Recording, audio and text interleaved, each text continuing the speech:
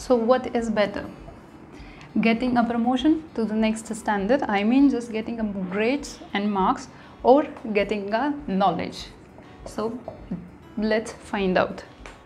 Hello, welcome to my channel, Symmetrical World of Physics. I'm the creator of this channel and also as experimental nuclear physicist at one of the European university.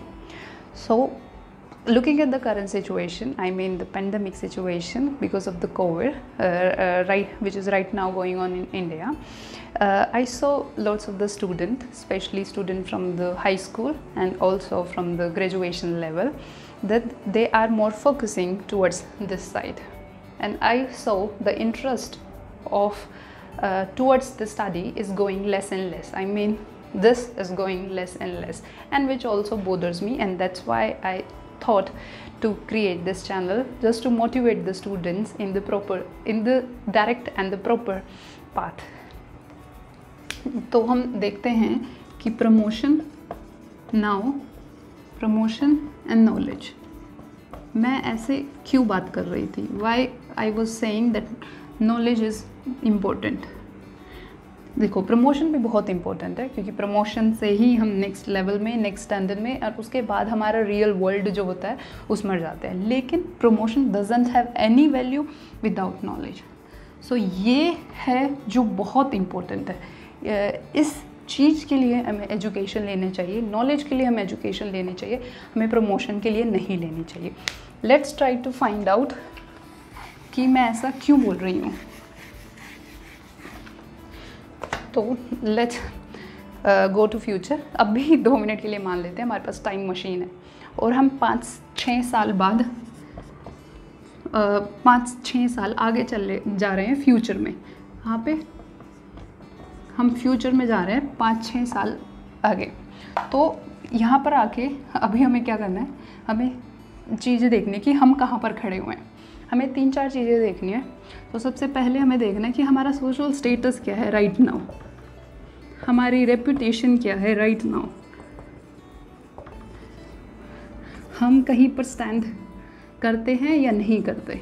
Stand basically social status में ही आ गया, जिसको हम position भी बोल देते हैं एक तरह से। मोस्ट इम्पोर्टेंट नॉलेज हमारे अंदर नॉलेज कितना है? जॉब और यहीं पर आ जाता है मनी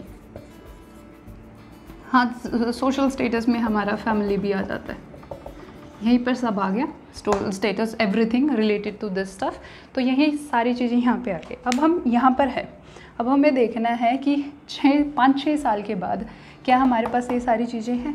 और अब हम देखेंगे कि सिर्फ़ एक चीज़, सिर्फ़ नॉलेज से चारों चीज़ें चारों चीज़ें अफेक्ट होगी। अगर हमारे पास ये है तो मोस्ट ऑफ़ द चीज़ें हमारे पास होंगी।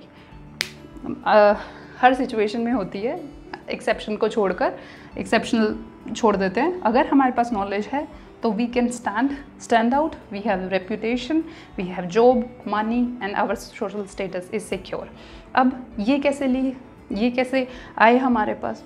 और एजुकेशन तो सबने की है। अब ये सारी चीज़ें पाँच छः साल के बाद सबके पास नहीं होगी। और तुम्हारे जो हम एग्ज़ाम्पल ही लेते थे क्लास का ही एग्ज़ाम्पल ले लेते हैं।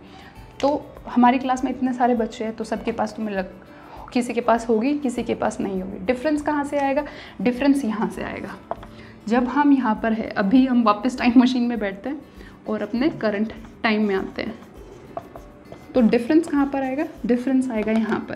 सो so, जो स्टूडेंट यहाँ पर था और जिस स्टूडेंट ने एजुकेशन करते हुए सिर्फ़ प्रमोशन नहीं लिया उसने फोकस किया कहाँ पर? नॉलेज पे भी। तो वो वो स्टूडेंट हमेशा सक्सेसफुल होगा फाइव टू सिक्स ईयर में। उसे इतना स्ट्रगल नहीं करना पड़ेगा। ऑलवेज़ रिमेंबर चाहे हम करंट टाइम में हो, चाहे हम फ्यूचर में हो, हमें स्ट्रगल करना है। लेकिन अगर वो स्ट्रगल अगर करंट टाइम में हम प्रॉपर स्ट्रगल मतलब करंट टाइम में ही हम स्ट्रगल कर लेते हैं, करंट टाइम में ही प्रॉपर तरीके से हम अपने नॉलेज पर फोकस करते हैं तो यहाँ पर हमारा जो स्ट्रगल पीरियड होता है, वो कम हो जाता है। तो that's why I am talking about this now let's talk about the tips tips और how to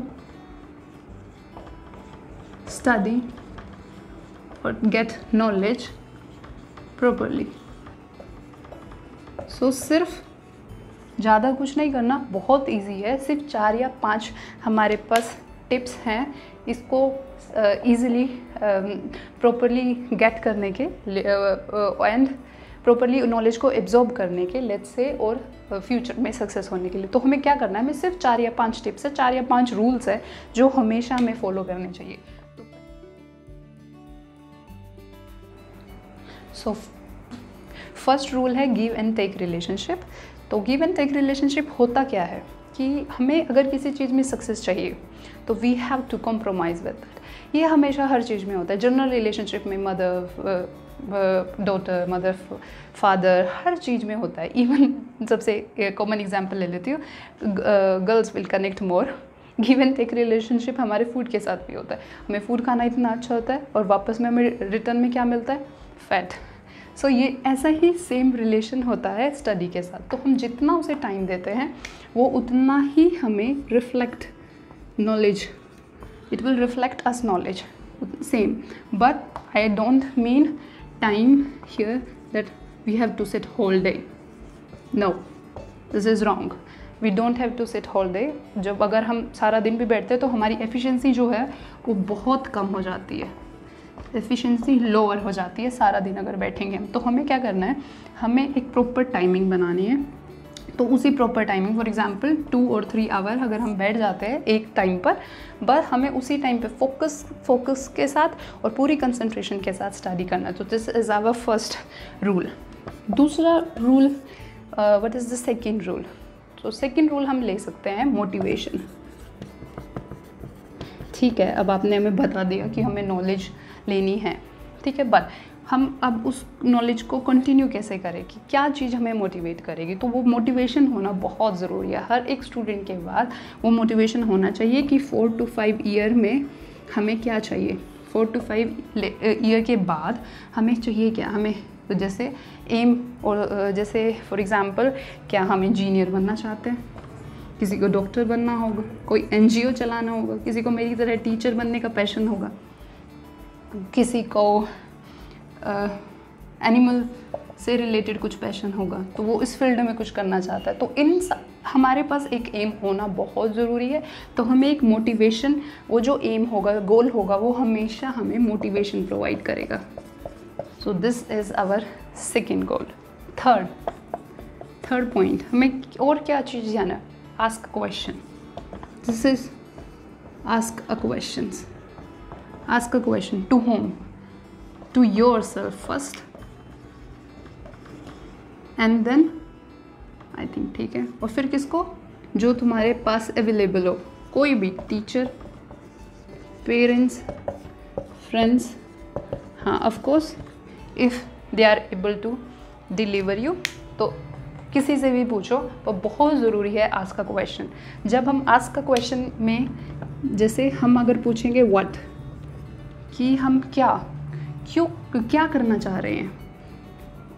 I mean what we want to do let's say फिर हम, हमें पूछना चाहिए वाई मतलब हम कर तो रहे हैं बट क्यों? रीज़न क्या है इसको करने का? And then third reason how कि कैसे?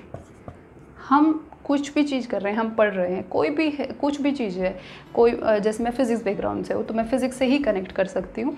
जैसे कि हम कोई भी लॉ पढ़ रहे हैं कंजर्वेशन लॉज पढ़ रहे हैं न्यूटन लॉ पढ़ रहे हैं ग्रेविटेशन पढ़ रहे हैं फंडामेंटल फोर्सेस पढ़ रहे हैं तो क्वेश्चन पूछो what why and how first अपने आप से पूछो फिर अगर इनके आंसर ना मिले तो फिर अपने सोर्सेज के पास जाओ जो तुम्हें आंसर दे सके। सो so, ये तीन सबसे इम्पोर्टेंट चीज़ होती है लाइफ में to get a proper knowledge और इन्हीं तीन क्वेश्चन जब हमें पता होंगे तो हमें ये भी पता होगा कि हम इनको, इन चीज़, जो हम पढ़ रहे हैं, उसकी एप्लीकेशन क्या है। सो so, बहुत सारे स्टूडेंट्स से मैंने सुना है कि वो बोलते हैं कि हाँ we are studying trigo these laws but what are the application of it जब हम ये तीन क्वेश्चन पूछेंगे तो हमें ऑटोमेटिकली उनकी एप्लीकेशन भी नेचर नेचर uh, में और अपने रियल वर्ल्ड में उनकी एप्लीकेशन भी मिल जाएगी। तो ये भी बहुत ज़रूरी होता है। फोर्थ अब क्वेश्चंस तो पूछ लिए। अब इमेजिनेशन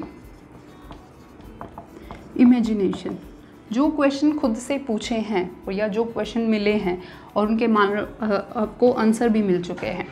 तो अब क्या करें? अब उनको इमेजिन करें। खुद इमेजिन करें। बहुत बहुत मतलब इमेजिन करें क्रिएटिव करें। अपने आप इस सिचुएशंस को क्रिएट करें। उन एप्लीकेशन से रिलेटेड तो ये फैक्टर भी होता है, ये बहुत इंपॉर्टेंट होता है। इससे हमारी क्रिएटिविटी इंक्रीज़ होती है और इंटरेस्ट आता है जो भी हम पढ़ रहे हैं उसमें। और लास्ट स्टेप जो मैं बोलूँगी, वो होती है कंसिस्टेंसी कंसिस्टेंसी जो लास्ट स्टेप है, वो है कंसिस्टेंसी हमें, हमने जो भी किया है इमेजिन जो भी हम पढ़ रहे हैं, जो भी हमने शेड्यूल बना रखा है अपना शेड्यूल बना रखा है तो वो हम, उस पर हमें कंसिस्टेंट होना चाहिए. उस पर हमेशा हमें कंसिस्टेंट होना चाहिए. तो if you will follow this five tips so I am guaranteeing you कि हम जिस जो भी पढ़ रहे हैं उसे बहुत अच्छे तरीके से पढ़ेंगे और ज़्यादा देर तक उसको हम रिमेंबर भी कर सकते हैं क्योंकि हमें उनकी एप्लीकेशन पता होगा हमें पता होगा क्यों कैसे और क्या। आई थिंक ये तुम्हें अपने रूल बना लेने चाहिए वट वाई हाउ और stay tune with me I will be uploading more and more interesting videos if you want to know more about me i have given stuff related to me in the description. And uh, let wait for the next video. Bye bye